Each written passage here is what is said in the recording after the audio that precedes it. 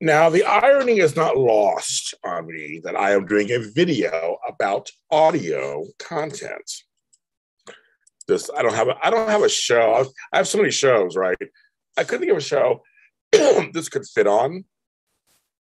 It's very general slash specific.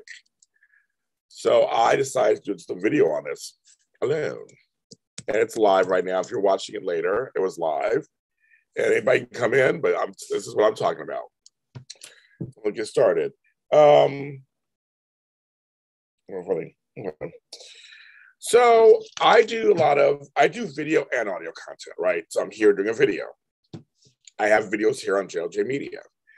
Now, for most of my video, almost all my video content is after shows, um, interviews, mostly. That's mostly the two are not any kind of staged content.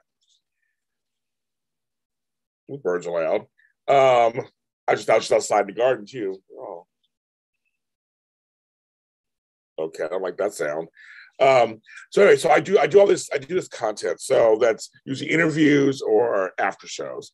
I took the, I took the AfterBuzz TV model and I put them on audio and video. So it's an audio podcast and video. I have some things that are just video, I have a few things that are just audio.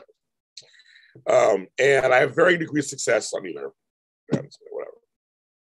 Now, I've been getting these questions recently, like, why don't you do, uh, you know, video web series? Why don't you do films? Why don't you do blah, blah, blah? So I'm going to explain why I don't and why I'm not at the moment. One day, maybe, never say never, but at the moment, I'm telling you, because um, I have a lot of audio dramas and I have a lot of audio content. Uh, mostly that's about audio dramas because they're all like mini plays and mini shows, but just audio. So I like video. I have one vlog series called Really Quick James Jr. Show, and it's really short. I do that. New episode out today, actually, as I'm recording this. Um, that's fun. That's the only one I have that's kind of like that. Um, that's a that's like a series, but I have no scripted series. So here's the deal why I don't. One thing, films are not my passion. I don't, that's my passion. Yeah, I'm gonna do a film one day, but it's not my passion. A lot of goes into a film, a lot goes into filmmaking. Um, that's not, I like series, I like one offs, I like, that's what I like. So, do a film just does not interest me whatsoever. And there are people who do it who do it way better than I do, who do, do a great job. And there is, I have friends who do that. That's fine. I'm a TV kind of person, TV streaming kind of person, um, podcast kind of person. So why, you know, when you do video and you do films, whether they're short, large, in between, whatever, TV series, all that. And I'm a producer on a TV series, but I'm just one of many producers on the series. It's can be expensive. A lot of times you're going into it already at a deficit money wise. So you're trying, so later you have to make that money back or at least break even. That's where you don't have to, you know, when you do films or TV shows, you have to worry about locations, where to film, traffic, money, um, to get to get all this everything from craft services to lighting and all that kind of stuff.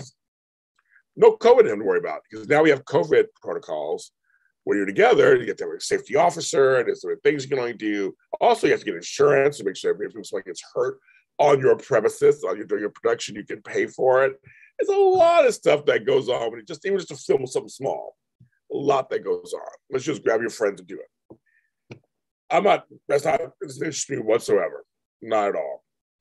Audio. I say all the time. Do not sleep on audio. Audio is growing by leaps and bounds. Parts of it are uncharted, untethered territory, un, untethered. That's a word. Uncharted territory. Is what we say uh, it's vast and it's open um, and includes music, sound, includes plays, um, series, includes podcasts, audiobooks, um, all this stuff. Audible is all starting to get bigger and bigger. People are having not wanting to sit in front of a TV and watch something or their phone or a tablet. They a lot of times they're doing several things, but they want to hear it. Like lay back, relax, it's on the couch with a glass of wine or some tea or coffee, and just listen. Go out to the gym. So listen to the gym. Before it was always music. Now it's podcast. Now the podcast is audio dramas. or audiobooks. Uh, planes, flying on planes, going on trains, on buses. If the audio world is growing, it's like it's a don't count like like radio has always been there. People want to count radio. Radio's still there, folks. Who's radio? But podcasting is bigger and bigger. It's still there. But this whole new frontier that I joined a few years ago, just a few years ago, um, I'm already kind of leading in many ways. I think I, w- I would venture to say, and somebody else can correct me, if they find this not correct me, I have the most audio content in terms of audio dramas and comedies in one network. But we I have like 15 or 16 right now, but more to come. So I think I have the most, I think. Uh, but somebody can correct me if, if I'm wrong. Um, I produced a lot of content. And now others have since come up like Tomorrow's a New Day for my friends at Queers and Stokes. Of course, Forever Day, of course, was started off for us. They have their own channel now. Um, Broadway uh, World is doing their own audio dramas, some famous people. There's a new category, there's new categories at the Independent Spirit Awards, Series Awards, me, Independent Series Awards that are due to audio. Small right now, but it could grow. The Emmys from audio content. It's very interesting. Video, there's so many choices for video. It's a huge it's already already an oversaturated market. It's great. And it's fine. You get a good series, it's great. There's so much. On audio, there's a lot out there too, but it's not as much as video. Also, there are people who, if you're thinking, well, can I make money, whatever, I know a lot of folks who, a lot of people you might know too, who are in movies and TV shows. They don't make a lot of money doing that.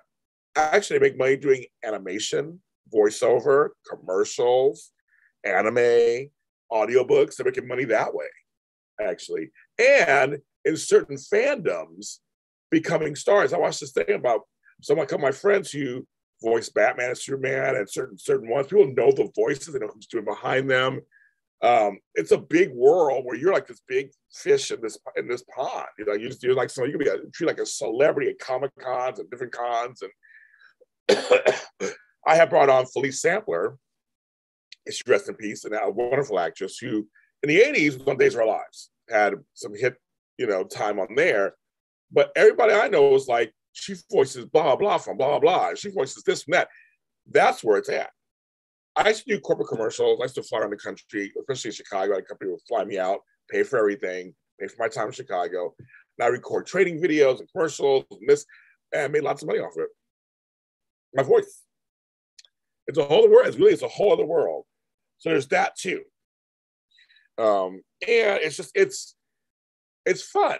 It's something really fun. And so for me, it's easier for me.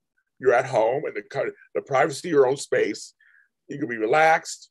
We get together. My stuff's short, so we get together for an hour. Record one or two episodes at each time. It's faster for me because I'm, I'm an assembly line kind of guy. It's faster. There's no overhead, nothing. I get you get your work, you go and not a lot of time for you either. And you get to play parts that you may maybe never got a chance to play before with people who are fun. We have no egos, we have a good time, we help each other out. And it's just, you know, you'll just sit and try for two hours, to make it there, go through 10,000 checks and COVID tests. It's really audio is where it's at. And it's, it's, I think, you know, people always make, you know, feel like it's like, what is this thing? They don't know it but it's something. So that's why I do more audio. I want to go, that's my passion. My voice, voices are my passion. I want to do more in that space. I want to be the king of the audio drama and audio comedy. I want to be, I, want to rule the world doing these. That's where I'm at. So I know folks out there, some of you folks out there want to be seen, I guess. That's the whole thing. You can be seen to have a hit. I guess for me, I don't care. Long as the hits come, and I can make some money and and get and get steady work. I, am happy. That's, that's me. Uh, but you can do both, of course, too. I mean, but just say it's just one of those things where I'm like, no, I don't care. This is good. I, I get to play roles I've never played before um, on audio, and it's just easier. So anyway, that's that's my take on. This is why I do that. But I have some video stuff, and maybe one day I'll do more video one day. But for me, audio is where it's at, and it's a new frontier, and that's where I'm at. So anybody ask me that question again, I'll say, watch this video. I'll tell you exactly what I'm, talking about. I'm James Lott Jr. here at JLJ Media. And so all my audio dramas and audio content are across all the audio platforms iHeartRadio, Spotify, Google, Apple, Deezer, Stitcher, they're everywhere.